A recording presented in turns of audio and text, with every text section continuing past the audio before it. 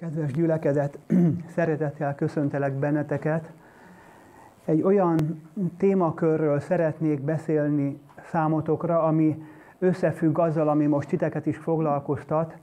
Ugye, mert egyrészt a szombatiskolában tanulunk arról, hogy Isten a teremtőnk, és erről is beszélgettünk többet a héten a szombathelyiekkel is, mert ima hét is van, ezért a kettőt így összekapcsoltuk a beszélgetéseinkbe, hogy hogy mi vajon ö, ö, milyen, milyen lelkületet tanulunk abból, hogy hiszünk a Teremtőben.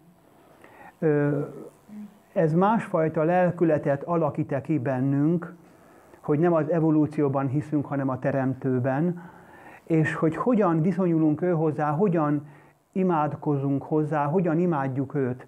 Ugye, és szóba került az, hogy a, a, hogy nekünk adventistáknak fontos a hármas angyal üzenet, és ennek az első üzenete ezzel a mondattal kezdődik, hogy, hogy felszólít minket arra, és mi pedig a világot próbáljuk erre a figyelmüket felhívni, hogy imádják a Teremtőt.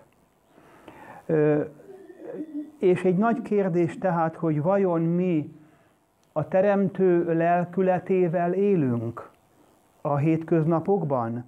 És a Teremtő lelkületével jövünk ide. És amikor ő hozzá imádkozunk, szoktunk-e gondolni arra, hogy az ő lelkületével imádkozunk-e? Egyáltalán hogyan is beszéljünk hozzá, hogyan is imádkozzunk, hogyan is mondjuk az embereknek, hogy imádjátok őt, hogy is van ez a mi viszonyunk ő hozzá. Ezekről szeretnék röviden beszélni néktek is ma délelőtt. Ugye nagyon fontos a számunkra, hogy ő neki milyen tulajdonságai vannak a teremtőnek. Hiszen ettől függ, hogy, hogy milyen elvek irányítják az egész, az egész univerzumot, és a Biblia azt mondja, mint jól tudjátok ti is, hogy az univerzum teli van a mi bolygónkhoz hasonló intelligens lényekkel, tehát, nem, tehát az ő, az ő az el nem bukott lényeknek a lelkületét is megismerjük, hogyha ha ezen elgondolkodunk, hogy a teremtőnek milyen a lelkülete. Biblia sok helyen beszél erről, hogy, hogy különböző, ö, ö, különböző fölé alárendeltségi viszonyok vannak az univerzumban is, hiszen ahol Isten teremt, ott, ott minden pezsegés nyüzsög élettel. Tehát amikor az, a, a teremtő együtt van a teremtményeivel, és ahogy mi is ilyen helyre vágyunk, ugye a nagy kérdést föl kell tennünk, hogy milyen is a jelleme a teremtőnek. Most azért siettem tovább, mert az idő nagyon eltelt, és erről nem akarok most külön hosszan beszélni, amit ott előbb itt fölmutattam, mert a lényegre marad csak idő. Tehát Isten jellemét Jézus hogyan írja le a Földön. Megpróbáltam a legfontosabbakat kiemelni az evangéliumból. Például azt mondja az Úr Jézus, hogy, hogy aki közöttetek nagy akar lenni, az legyen a ti szolgátok. És aki közöttetek első akar lenni, legyen a ti szolgátok. Ö, már 31 éve vagyok lelkész, ugye mi azt szoktuk mondani, hogy szolgálók vagyunk, meg hogy a, így a szolgálat, úgy a szolgálat, ö, de bizony minket is nagyon megszokott kísérteni az, hogy ne szolgálatként tekintsünk erre a hivatásra. És bizony elég komoly küzdelmeket is kell folytatni, hogy, hogy ez valóban szolgálat legyen, és ne uralkodás. És ne önmagunkat hízlaljuk a bárányoknak a tejszínéből. Jézus azt mondja magáról, hogy az embernek fia nem azért jött, hogy néki szolgáljanak, hanem hogy ő szolgáljon, és adja az ő életét váltságul sokakért.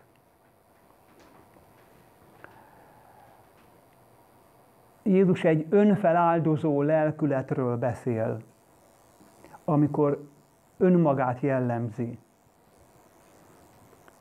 Majd így folytatja máshol is újból, aki a legnagyobb akar lenni köztetek, olyan legyen, mint aki a legkisebb. És aki első fő vezető akar lenni, olyan legyen, mint aki szolgál. Ebben a világban ez nem így valósul meg, de Jézus azt szeretné, hogyha az egyházába ez megvalósulna.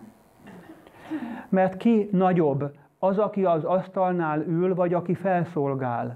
Nem, de az a nagyobb, aki ül, de én, ti köztetek olyan vagyok, mint aki szolgál.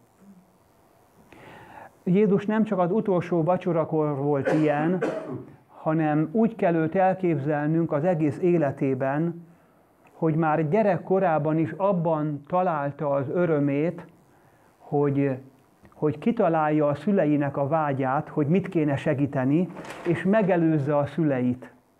A kérés nélkül megtegye nekik azt, amit mint gyermeknek kötelessége megtenni a családban.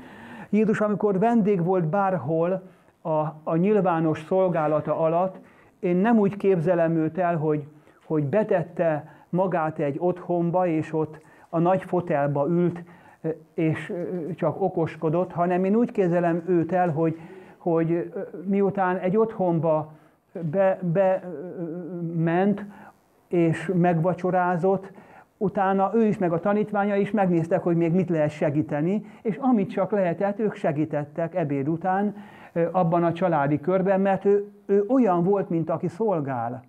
Amikor a farizeusok ránéztek Jézus kezére, meg is vetették őt azért, mert azt mondták, hogy hogy lehet ilyen kérges keze ennek a nagy tanítónak. Az lehetetlen, hogy egy ilyen nagy valakinek ilyen kérges munkás keze legyen.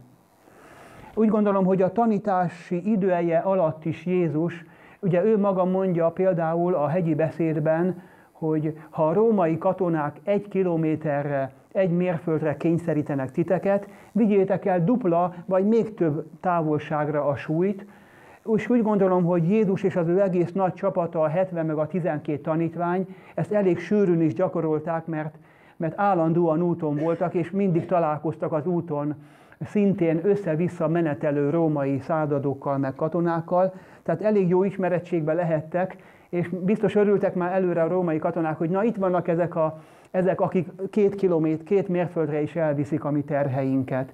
Tehát Jézus úgy forgolódott az emberek között, mint aki szolgál. Én így képzelem el. És aki örömét lelte abban, hogy megelőzze az embereket, hogy mielőtt kérnek tőle valamit, ő már megtette. Mert ezt mondta magáról, hogy ő nem azért jött, hogy őt kiszolgálják, hanem ő azért jött, hogy ő szolgáljon, és adja az életét váltságul sokakért. És azt mondja, hogy, hogy bizony mondom néktek, hogy ha megcselekszitek egyel a legkisebbek közül, én velem cselekszitek meg. Egyel a legkisebbek közül a, a Biblia arról beszél, hogy Isten úgy tekint a, a legkisebb képességű emberekre is, mint az ő saját gyermekeire, akikből ő, ő tud jót kihozni, kinevelni türelemmel, persze nagyon sok-sok idő alatt, de mivel Isten az örök életnek az ura, ezért ő, ő nem siet el semmit, és ő nem siettet semmit.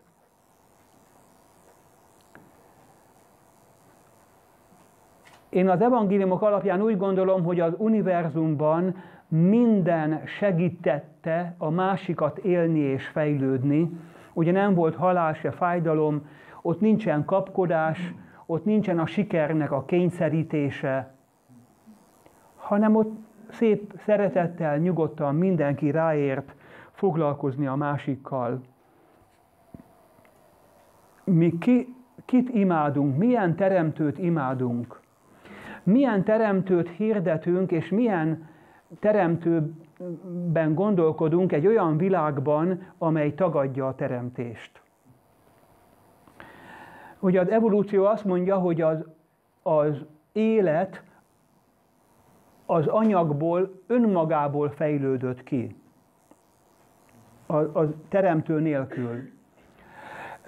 Azt mondja a mai világi ateista emberek tömegei, hogy az élet fejlődésének van egy önműködő törvénye, ez pedig a kiválasztódás törvénye, az életharc törvénye, hogy a jobb maradjon életben, a jobb fejlődjön tovább, ugye ez a versenynek a törvénye és a lelkülete.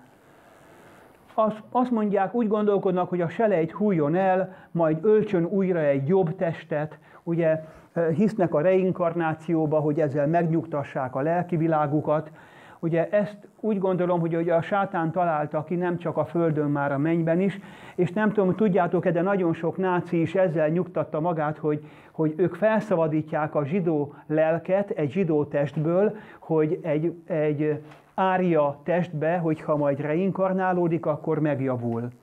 És így ö, is gondolták azt, hogy ami ott történik, az felszabadítja őket. Tehát úgy gondolták, hogy a selejt hújjon el, hogy jó megölni a selejtet, mert ezzel siettetjük az evolúciót, az élet fejlődését. Jézus erre mondta, hogy ő embergyilkos volt, kezdettől fogva.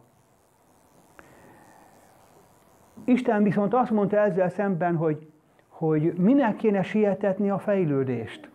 Hát egy örök élet van mindenki rendelkezésére, hova sietünk?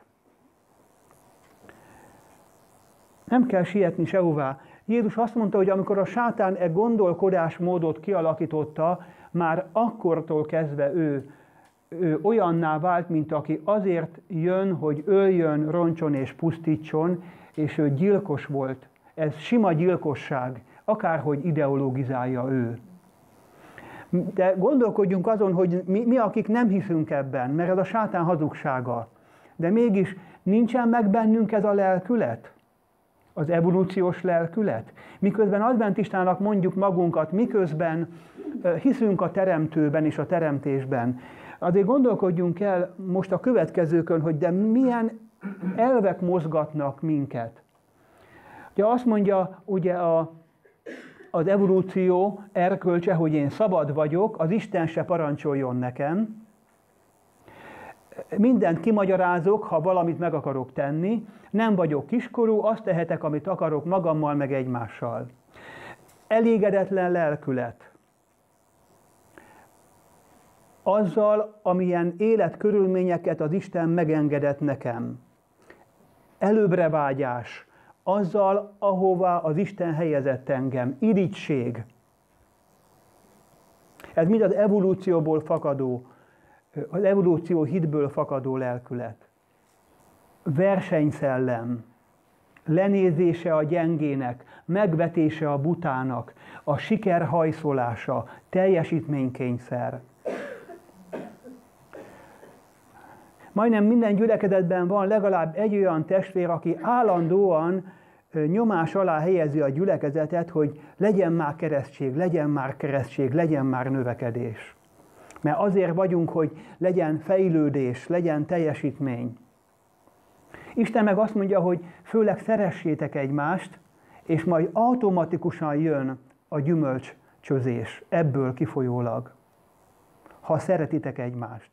Mert a szeretetnek van egy gravitációja. És ha egy igazán jól működő közösség van, annak van egy hihetetlen vonzereje nem, nem, nem, nem, nem az a, a, a legjobb út, amikor mi elkezdünk missziózni, és azt gondolják az emberek a kultúrházba, hogy itt milyen mennyei angyalok ülnek. És ha ide jönnek, arra vágynak, és csalódnak, mert nem vagyunk azok. A hangsúlyt én inkább erre tenném, hogy igyekezzünk egymást szeretni, és nekem az a tapasztalatom a 30 év alatt, hogy ahol egy gyülekezet igyekezett egymást szeretni, a Szentlélek hozta be az üdvözülendőket a városból, akiket ő már előkészített, csak visszatartott szándékosan. A versenyszellemmel kapcsolatban, amint az evolúció gondolatát kitalálták ebben a világban, azonnal az olimpiát újra indították a világvezetői, azért, hogy, hogy a verseny szellemet elfogadtassák a tömegekkel. Ugye ma is, mint régen is, a, a világ minden hatalma és kincse a világ lakosságának az egy százalékának a birtokában van. Ugye ez mindenki tudja. És, és ők és, és, a, és a, a, a világ lakosainak a 99%-a pedig rájuk irigykedik. Ugye ezekről szól az összes újság, a TV riport, állandóan minden, minden a, erről az 1%-ról, és a 99%-a a föld lakosainak rájuk irigykedik. És azt mondják, hogy hát ők, a, ők ebben a versenyben a, a legjobbak, a legokosabbak, a legszebbek, és a sportban is ugye kiválogatják ezt az egy százalékot és megpróbálják a sport által a versenyszellemet elfogadhatóvá tenni a tömegekkel. És azt, hogy a tömegek is önmagukat is nézzék le és vessék meg, hogy, hogy nem ilyen különlegesek. Ö, nagyon vigyázunk arra, hogy ne bámuljuk a sztárokat. Szándékosan ne ne legyünk kíváncsiak az életükre. Ne érdekeljen minket, hogy a világnak ez az egy százaléka hogy él. Ne engedjük föl ö, ö, bosszantani magunkat. Ö, mert ha irigykedünk rájuk, ha kíváncsiak vagyunk az életükre, akkor a sátán csapdájába esünk. Mert Isten világában, mondja a korintusi levélben Pálapostól, az Isten világában egy olyan versenyek vannak, amelyben minden versenyző győztes lehet. Isten világában olyan versenyzési szabályok vannak, hogy ha valaki lassú, akkor a gyorsak álljanak meg, és, és karodjanak bele a lassúakba, és együtt menjenek a célba. Együtt segítsék egymást a célba. És mindenki egyforma jutalmat kap. A sztárkultusz szintén nagyon erősen még az egyházon belül is sajnos ragályos, amikor vannak sztár előadók, akiket azt mondjuk, hogy ő jöjjön a kultúrházba, mert ilyen megnyerő, olyan megnyerő, így tud színészkedni, úgy tud, hogy megragadja az emberek lelkét, milyen nagy tudása van, és akkor mi is elkezdünk rajongni sztárokért, akik aztán, mint hulló csillag, egymás után potyognak le, és mi kapkodjuk a fejünket, de közben lehet, hogy mi rontottuk el őket, mert ha egy embert valaki dicsér vagy dicsőít, annál rosszabbat nem tehet. A sztárkultusz szintén a sátántól ered.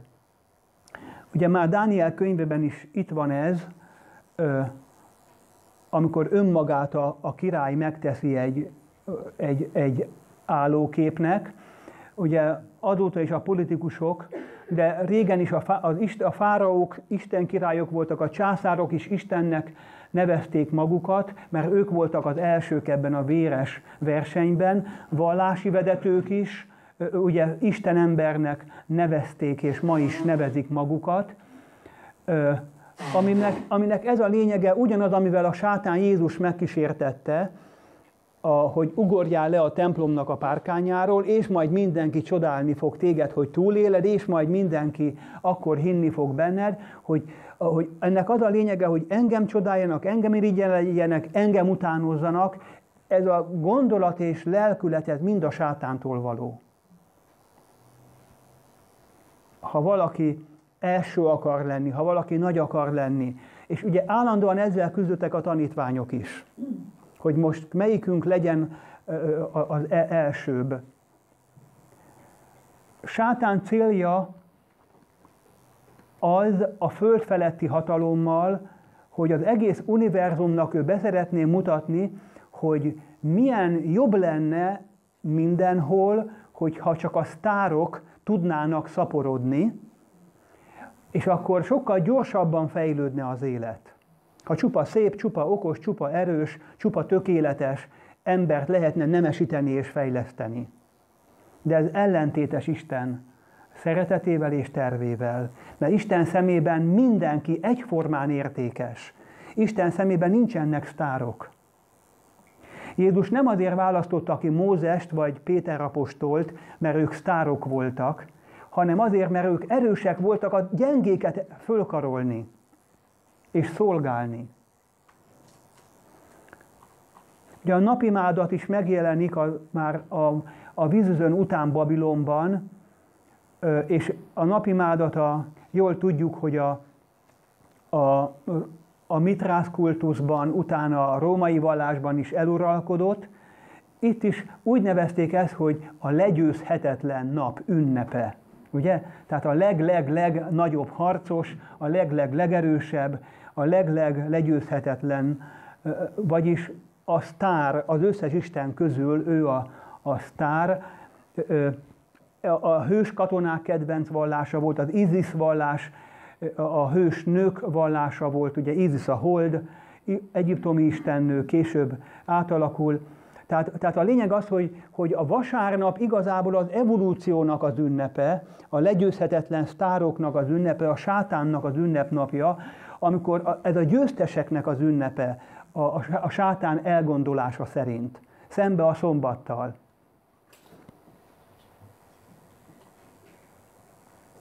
Ezért a szombat egy olyan ünnepnap, amit a sátán gyűlöl. De azt mondja a Biblia, Ézsaiás 59-ben, hogy szombaton is lehet evolúciós vasárnapi lelkülettel ünnepelni. Azt mondja Isten, hogy, hogy imé versengéssel és peres, peres lelkülettel böjtöltök, és és ünnepnapon egymásra sújtotok a gasságnak öklével.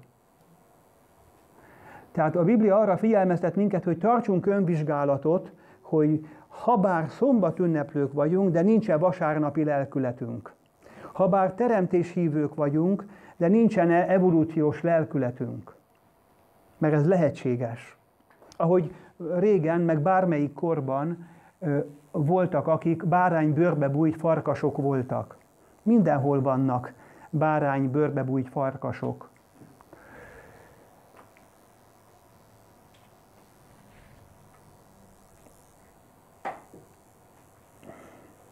Tehát a vallás meg a gyülekezet nem egy termelési verseny, mondja Isten. A vallás nem egy ipar. A gyülekezet nem egy ipar, amit, amikor mint gyárként, üzemként kéne funkcionálni és eredményeket termelni.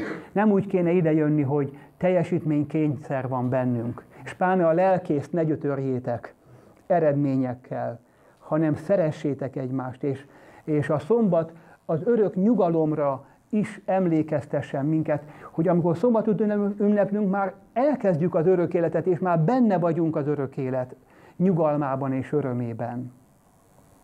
Megérkeztünk, hazaértünk. A szombat ennek az előképe kéne, hogy legyen. Nem az elégedetlenségnek, meg a követelőzésnek a napja és a lelkületét. Tehát ha mi azt mondjuk, hogy mi vagyunk azok, akikről a Biblia mondja, hogy jelenések 14-12-ben beszél a, a Laudiciának a győző részéről, hogy itt vannak, akik megtartják Isten parancsolatait és a Jézus hitét a Jézus hite Jézus lelkületére is vonatkozik. Erre a nem evolúciós lelkületre.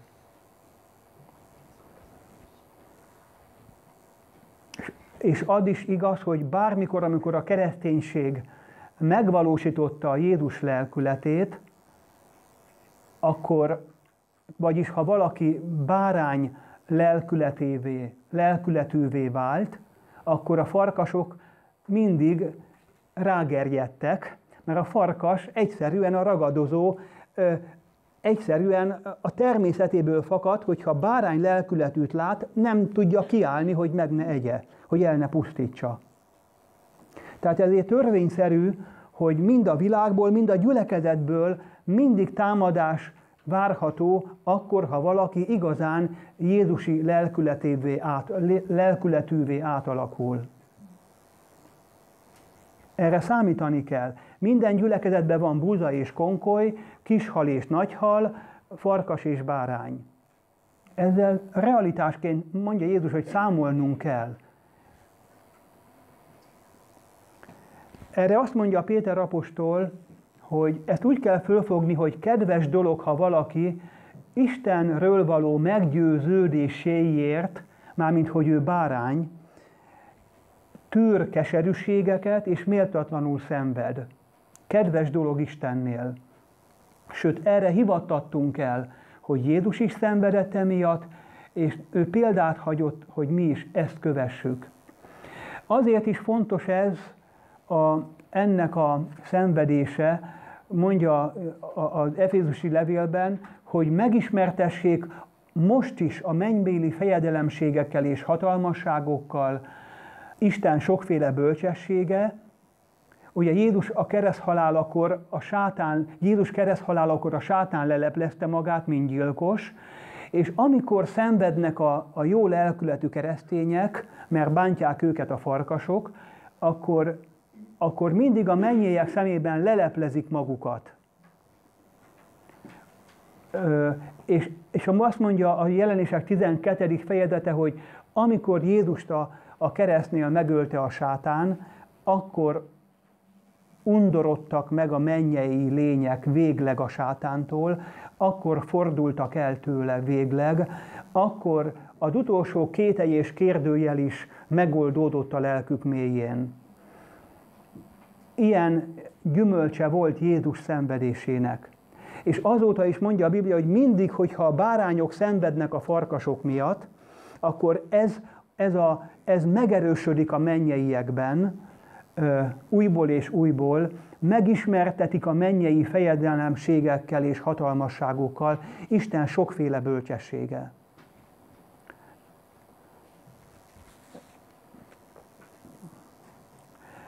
És, de Jézus kereszt halálával nem ér véget ez a bizonyítási eljárás, mert azt mondja Jézus Pálapostolnak, ami nekünk nagyon szomorú, mert nem csak neki mondja, nekünk is mondja, akármennyire ezt nem akarjuk meghallani.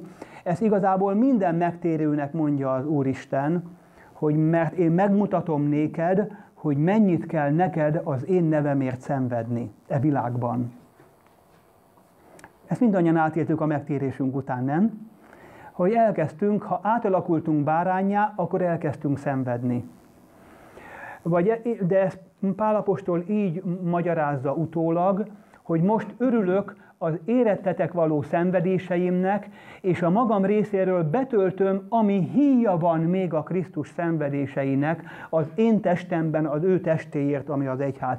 Itt azt mondja a Pálapostól, hogy úgy látszik a mennyeieknek még szükség van az, a Jézus szenvedése után is arra, hogy még emberek szenvedjenek ezen a földön, ezen a sátáni lelkületű földön, a Jézusi lelkületű emberek még szenvedjenek, mert úgy látszik, hogy a mennyei ekben, hogy véglegesen és garanciálisan örök időkre ez a kérdés megoldódjon, hogy szeretet vagy nem szeretet szerint kell élni, azt mondja Pálapostól, hogy ami híja van még a Jézus szenvedéseinek, azért, hogy őket végleg meg lehessen győzni, azt én most leszenvedem az egyházért az ő testéért.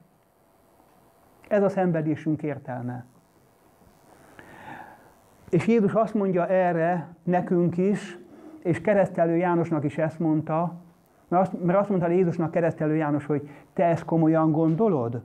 Hogy engem elhívtál a, a születésem előtt, a, apámnál a templomban. Angyal jelent meg, bejelentetted, hogy én jövök, és téged, a te országodat előkészítem. 30 évig készülök, hogy téged bejelentselek, fél évig engedsz engem csak működni, és most engednéd, hogy levágják a fejemet? Ugye tudjátok, ugye? Azt mondja, Jézustól kérdezi keresztelő János, hogy ezt te komolyan gondolod? Hát ki vagy? Vagy tényleg te vagy, vagy nem te vagy? Hát ezt nem teheted velem. És Jézus mit válaszol neki? De nekünk is azért ez vihangozon a mi lelkünkben, amikor mi szenvedünk. Nem ugyanezt mondjuk Jézusnak? Hogy nem ezért értem meg. Nem ezt ígérted nekem, amikor megtértem. És Jézus ezt mondja nekünk. Nekünk is ezt mondja. Ugyanazt mondja nekünk, mint keresztelő Jánosnak válaszolta hogy, hogy akármennyire fáj neked ez az élet, miután megtértél, boldog, aki én bennem meg nem botránkozik. Aki pedig megbotránkozik, annak a megtérésének nem volt igazi mély gyökere. Mert mihelyt nyomorgatás vagy üldözés támad az ige miatt, az azonnal kibotránkozik. Ismerünk ebben a gyülekezetben is embereket, akik mennél jobban szenvednek, annál inkább Jézushoz ragaszkodtak, nem? Ugye? Mert, mert a, a lelkük, a szívük, szívük bele volt gyökerezve Jézusba, és a sok-sok szenvedésben persze ez igaz, hogy döntés elé állunk mindig, hogy most közelebb Jézushoz, vagy távolabb a szenvedésben. És mindig el kell döntenünk. És a mi döntésünkben a hitünk fejeződik ki. De Jézus azt mondja nekünk, hogy boldog, aki én bennem meg nem botránkozik. Szerintem mindannyiunk már megbotránkozott Jézusban elég sokszor. Mert ő nem azt adta, amire számítottunk. Mert az evangelizáción itt volt a Hamilton testvér, meg ki tudja, ilyen-olyan akármilyen testvér, akik 32 foggal mosolyogtak, sok ezer dollárral, stb. Azt mondták, hogy ha megtérsz, akkor boldog leszel, egészséges leszel, sikeres leszel, ha tizedet ad, akkor dupla annyit kapsz vissza az Istentől, stb. stb. Legyél keresztény, mert akkor boldog leszel. Ugye kb. ez, ez szokott lenni a, a boldogság és jólét evangéliuma. Nálunk is általában, de a, bapt, meg hídgyülekezetében meg még inkább, még négyzetesen. De ez hazugság.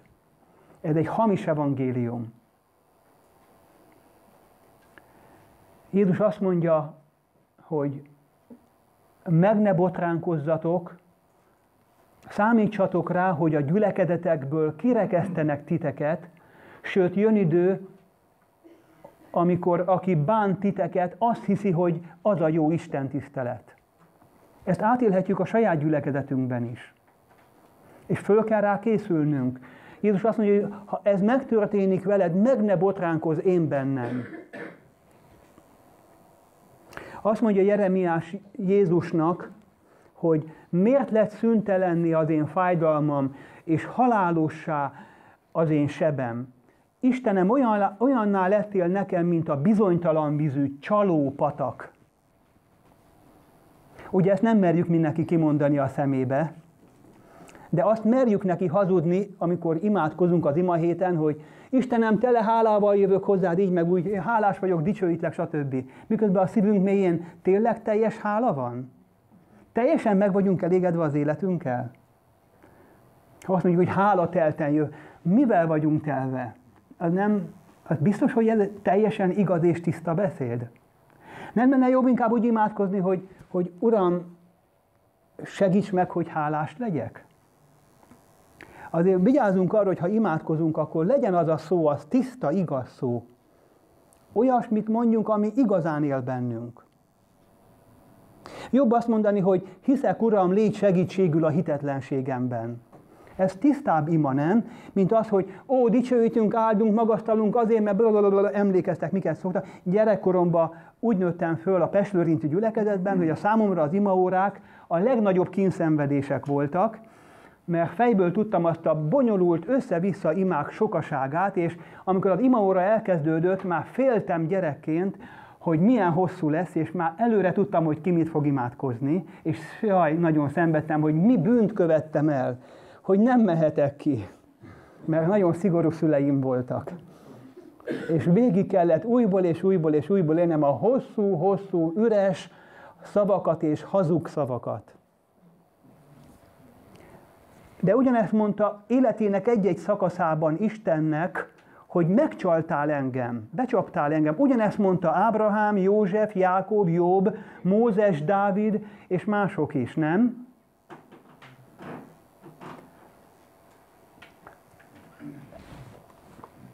Őszinték voltak hozzá. Jézus meg ezt mondja a jelenések könyvében ezeknek a gyermekeinek, ha valaki keresi Jeremiás 15-18. Ezt mondja Jézus, amit én nagyon nem szeretek olvasni a Bibliában, nagyon nem tetszik nekem. Azt mondja az Úr Jézus, semmit ne félj azoktól, amiket szenvedned kell. Imi a sátán egy-néhányat ti közületek tömlötbe fog vetni, hogy megpróbáltassatok, és lesz tíz napig tartó nyomorúságotok, légy hív, mint halálig. Hát ez nem valami kedves. A másik meg még csúnyább, amit nagyon nem szeretek olvasni a Bibliában. Akkor adatnak azoknak egyenként fehér ruhák, és mondaték nékik, hogy még egy kevés ideig nyugodjatok, amíg beteljesedik mind az ő szolgatársaiknak, mind az ő atyafiaiknak száma, akiknek meg kell öletniük. amint ők is megölettek. Hát ez leesik az állam mindig, és nagyon-nagyon, nagyon-nagyon nehezen dolgozom ezt föl, mert itt a jövőnkről is van szó. Nem csak a múltról van szó, a mi jövőnkről is van szó. Azt mondom magam, hogy ilyen könnyen veszi a Jóisten, hogy hát még egy pár nap még meg kell öletni, mert nem telt be a száma. Nem tudom, hogy hogy, hogy, hogy vagytok ezzel. Milyen jövő vár ránk? És mire vágyunk? És, és mi, mi, mi, miért küzdünk, miért álmodozunk?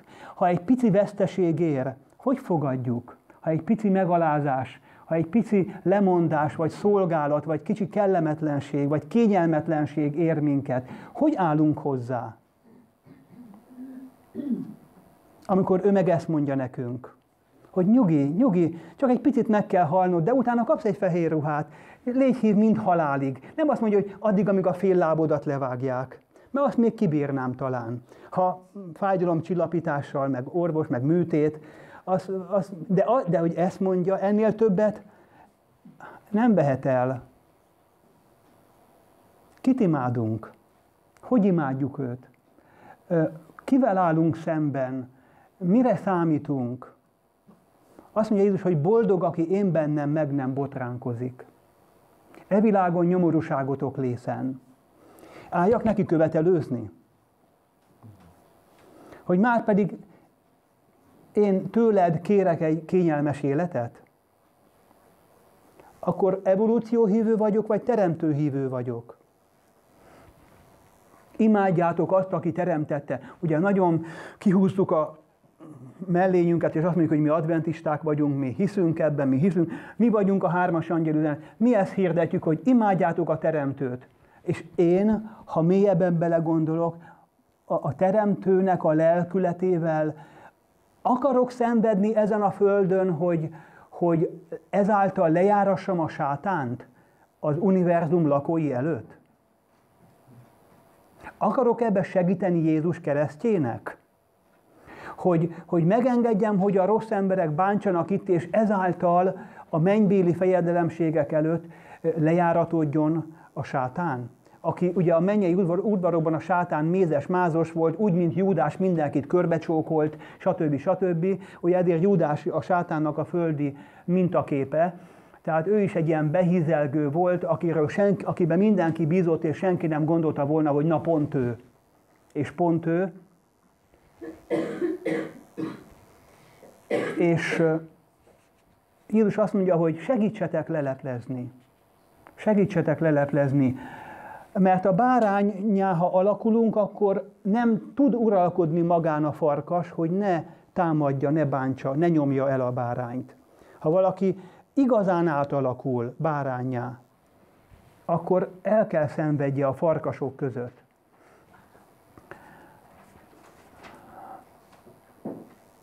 Kedves gyülekezet, befejezem a felénél, majd legközelebb folytatom, de gondolkodjunk el azon tehát, hogy hogy akarunk mi segíteni Istennek? Amikor mi őt imádjuk, milyen, lel, milyen lelkülettel élünk? A teremtőnek a lelkületével, vagy a, vagy a evolúciósnak a lelkületével élünk? Van-e bennünk a, a, a sátánnak a lelkületéből? Gondolkodjunk el ezeken, hogy, hogy mi hogy imádjuk az Istent. Őszintén, őszinték a szavaink? ha meggondoljuk tényleg, hogy mit mondunk neki, amikor imádkozunk, és az tényleg a szívünkben tényleg azok az állapotok vannak, amiket neki kimondunk egymás előtt? Én azt szeretném tőletek kérni, hogy, hogy vegyük, vegyük őt halál komolyan. Vegyük őt halál komolyan, és csak olyat mondjunk neki, ami tényleg igazán megvan bennünk. Ha valami nincs meg, akkor inkább nem mondjuk ki. Neveljük arra magunkat, hogy ő előtte nem szabad hazudni. Legalább ő előtte nem szabad hazudni. Az arcába, a szemébe. Pont neki, aki a szívünk gondolatait ismeri, mielőtt a szánkon lenne a szó, már tudja, hogy mit akarunk mondani. Legalább ő előtte tanuljunk meg őszinték lenni. hogy ha azt mondjuk a világnak, hogy imádjátok azt, aki teremtette, akkor legalább mi tanuljunk meg igazán őszintén imádkozni. Egyenes, tiszta, igaz szavakkal.